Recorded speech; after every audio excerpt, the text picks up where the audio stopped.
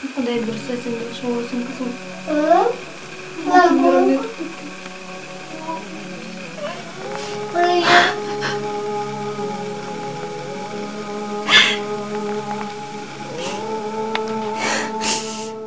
Апа мен чоңойгондо көп балалуу болгум келет кийин балдарым менен сизден кабар алганы келип турам. Бул беш жаштагы мадина эмилбекованын тилеги. Зирээк акылы курч эстүү кыз азыр оор дарт менен күрөшүп атат ал эки миң он жетинчи жылы сентябрь айында ооруп калып төрт ай ар кайсы диагноздар боюнча дарыланган. эки миң он сегизинчи жылдын январь айында ага кандын рагы курч лимфобласттуу лейкоз диагнозу коюлган. Ошондон бери апта сайын химиотерапия алып келет ага он беш миң сомдой каражат кетет. Апасы дилфуза исламова жалгыз боо эне болгон мүлкүмдү саттым айлам түгөнгөндө органдарымды саткым келди. Кызыма керекмин өмүр үчүн күрөшүүм керек. Ойноп күлө турган маалымда ушундай дарт жабышты дейт ал